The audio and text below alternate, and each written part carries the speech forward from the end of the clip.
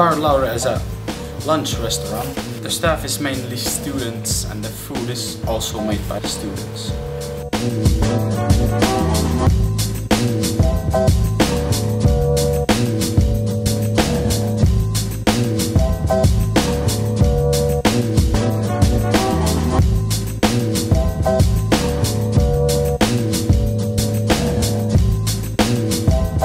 The flow is the a la carte menu of Bar Laurea. It's served on a la carte dishes and it's also made by students.